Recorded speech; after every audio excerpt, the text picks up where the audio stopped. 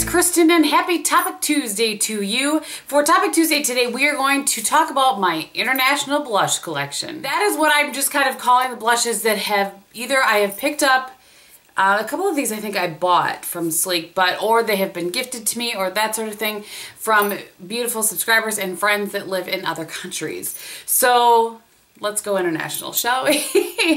so the first ones that I want to talk about are from Catrice. And Catrice is a brand that is available, I, I, I think Germany, Austria, there, there are other countries I believe that it's available as well, but those are the ones I know for sure. So, and I don't know, like this one as I'm looking is in is limited edition, so I'll just kind of say what I can say as I go through. And I won't be able to link anything for this because, well, some of them, actually some of them I should be able to. Anyway, this is a limited edition female cream to powder blush in a woman's world. So it looks like this, and you can see I try to stay right there. So that is what that looks like. I'll try to blend it out just a little bit, but um, it's really, really, really pretty. But, you know, the combination of it being um, like international and of it being um, limited edition, I don't use it a lot because, well, you know, I need to use my products. I know we've discussed. Okay, so this one is a duo, uh, defining duo blush in chocolate cream. So it looks like that. This is really pretty to use, kind of actually with this sort of look, like what I have on today. A good kind of easy go-to blush. This one is in, it's another duo defining blush in Apricot Smoothie. A lot of these were sent to me by Baby Cake 390. I will link below if you do not check. I was going to say their channel, but it's just it's just one of them now. This one is the one I've used probably the most often of all of them, and it's in this beautiful packaging. All the Catrice products are in this pretty packaging. And these are not, to my knowledge, every time I've looked so far, these are not Catrice products that are available at Ulta for some reason. This is a limited edition Un Deux Trois. It's just a really beautiful, everyday go-to mid-tone. My favorite. right there. And then the last two I have from Catrice are in different packaging. This was a limited edition in Rocking Royals. This is so gorgeous. It's the prettiest kind of like purple shift to it. Right there. Sent, that one was sent to me, I think, by Andrea, if I remember right.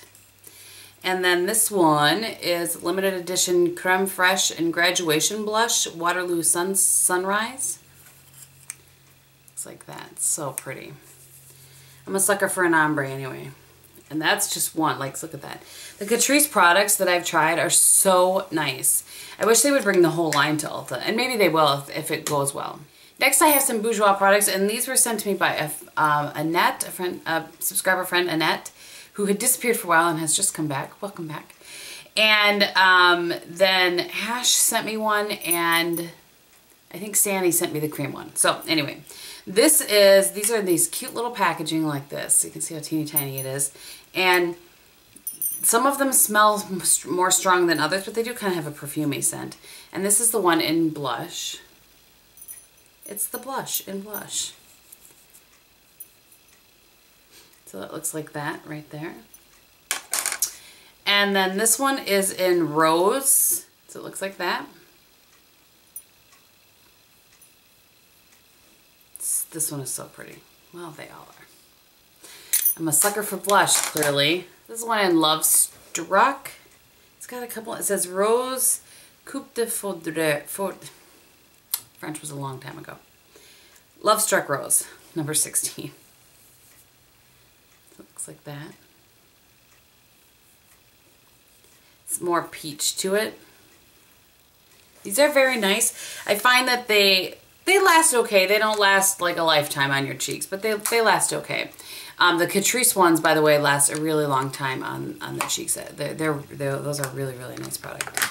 And then the last one that I have is in this. And this one, when I first got it, I used it forever.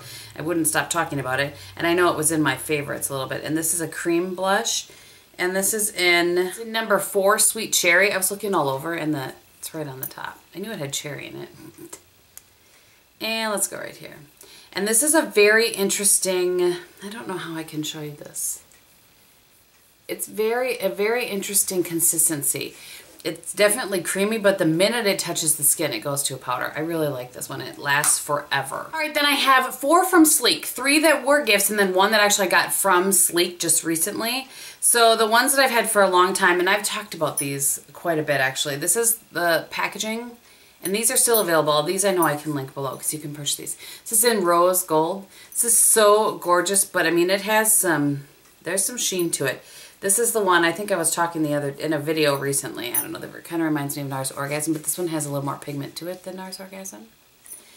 Beautiful peachy pink, every skin tone sort of shade.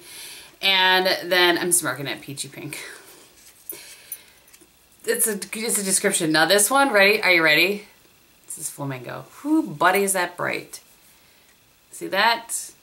I mean, these are really nice. They blend onto the skin pretty well and they last a decent amount of time, but you have to be careful. It's kind of like the Wet n Wild blushes. You have to be really careful or you're going to be like blush face in no time. and then the last one of this is one of my favorites in fall.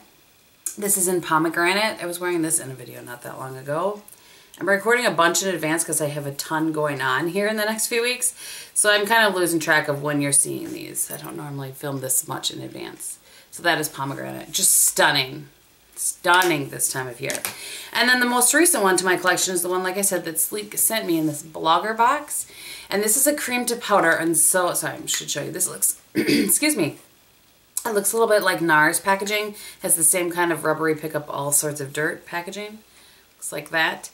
And this one, I find I'm still working with it to find the best way. So that's just the, so that looks like crazy pigmented. When you blend it out, you do still get a really pretty, when you do it with your fingers. I prefer to use like a small stipple brush, you know, the e.l.f. small stipple brush that we all love so much. I prefer to use that. I kind of tend to feel like it, it rubs away my foundation a little bit. I'm still playing with it though. Jury's still out, but it's in my collection, so I'm showing it to you not a full review game. So next is the MUA. I'm sorry, this one's going to be longer than the rest of them. Um, MUA is one that I've had some from a friend of mine from Tina from a long time ago. Um, some from Lorna, who's a, sub a, subscriber, and some I ordered somewhere, I think. I cannot remember at any rate. I think most of them are from Lorna. So this is in the one, this is in shade number six. They, all the packaging looks like this, except for one. So I'll show you the, the other one, but. So that is number six. I was just, no, that wasn't in a video. I was going to say I was just wearing this in a video, but that is a lie. This is the one in the shade number four. It's a beautiful pink. Now, I, I feel like MUA is being carried, or is that another brand? Like it's a CVS or something? There it is right there. I don't have CVS here, so I can't. I'll link whatever I can find below, as always. This is a really pretty kind of brownie bronzy sort of shade. This is in number six. Looks like that. This I think would be a really pretty highlight on a darker skin tone. Isn't that pretty? Ooh, that'd be pretty eyeshadow. That would totally be a pretty eyeshadow. This is random information from Gehm. This is in the shade number five. This one is a little bit chalkier than the rest for some, for some reason. There you go. It's shade number five. Number three. Right there. Look at how nice those are. And that's all just one, one swipe. And this one is in Candy Floss. And this one looks different. If I can, it has, it still looks similar like this, but then it, it opens up this way instead of up. And um, I can't, I feel bad because I don't remember which, where this one came from. But what's interesting about it is when you look at it in the in the pan, hopefully you can see, it doesn't look like it's all that, but it comes off as a really kind of pretty, almost bubblegummy, like a muted bubblegummy pink. It's really pretty. The next four are from Annabelle, and again, I'll show you the packaging on the one so you can see it looks like this. And this is a Canadian company. These were all sent to me by um, Norma, who's a longtime subscriber. This is the one in Pronto, and this is what I'm wearing on my cheeks today. And that is Pronto right there. So I kind of have a little bit more as a, add some, add some dimension into my face versus the blush sort of shade. It's really, it's, it's fun to play with those kind of shades. Anyway, This is the one in Rose Fawn, and I've had this in a favorites before. I've had this one the longest of all of them. That is Rose Fawn right there. This is the one in Golden Bronze. Golden Bronze is right there. This is Chestnut. There is Chestnut. And then the last one, this is so pretty, is in Rosewood. Like if that doesn't scream fall and winter, we'll go down here with it. I don't know what does. Right there. So stunning. Okay, we're down to our last six. Stick with me, people. Stick with me. this one, I can never get this open. It's from Gosh. Oh, I think because I always push and it's... Whew, I got it open. All right, so this looks like this. And that is the shade there. Obviously you can try to keep it in one or mix it all the, together and that's what I do, which then it ends up looking like that till I clean it off with a brush. It's very, very pretty. There you go. And it blends really well. I have a few things from Gosh, not a ton, but very, that's very, very pretty. This is um, the blush from Alverde in Flamingo. Yes, and this was the gift from Baby Cake 390. And this one I love. I've had this in a favorites. I think it maybe even made a yearly favorites at one point. Um, really, really stunning. And not as scary on as it looks in the pan. So that is Flamingo. My friend Sandy from Miss May 27 sent me this one. And this is by Deborah Milano. And it's in Cacao, number 12. And this is another one that, like what I, like kind of what I'm wearing today, where you can use to really contour your face a little bit. Like with, but using it as a blush at the same time. It's right there. I hope that makes sense. It does in my little brain. And then this, my friend Erica, who she used to make videos and she no longer does from Australia, she sent this to me. And this is um, Model & Co. blush. It's really cute packaging. And this is in Peach Bellini. I wear this a lot in summer.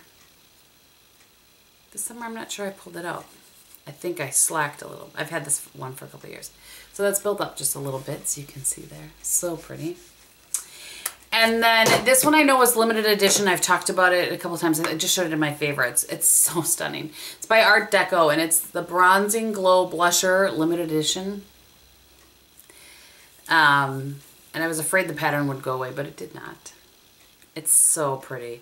And it just is so pretty on. It's just like the perfect, it's a nice go-to blush again. And then the last one, I know you can get, somebody has told me you can get these maybe at Namies, is that how you say it in California? I don't know. I honestly don't know. That's a Lise Watier blush in Lie de Vin. And this, um, I believe, Stephanie from Flourish XO sent it to me. Anybody that I talked about, I will, of course, list below for you guys. And any links I can find. So there it is. Mmm. So pretty. This is a good one to pull out for this time of year as well. All right, so that is it for my international blushes. Whew, I feel like that is a long video, but I have been very blessed. so thank you so much for watching. I hope that you enjoyed that for those of you that wanted to see it. Um, I have been asked if I would do my the rest of my blush collection, like my higher end blushes and that sort of thing. If you really want to see that, I can go ahead and do that, so let me know. Um, and yeah, I think that's it. So on my face today, I still have the Revlon Colorstay Whipped Foundation. For blush, as I said, I have the Annabelle blush. Grab it in Pronto, the Annabelle blush in Pronto. On my eyes today, I have another look from a Four Looks 2 palettes that's coming up with the Urban, nope, lies, Lorac um, Pro Metals and Pro Matte. So look for that soon, hopefully. I don't think you've already seen it yet. Just depends. And then on my lips today, I pulled out an oldie but a goodie, Maybelline in the Maybelline Creamy Matte in Divine Wine. And I think that that is everything. Oh, for eyeliner today, I have the Bobbi Brown in um, Chocolate Shimmer Ink. And that is everything. So thank you guys so much for watching. I hope that you're having a great day and I will talk to you very soon. Bye.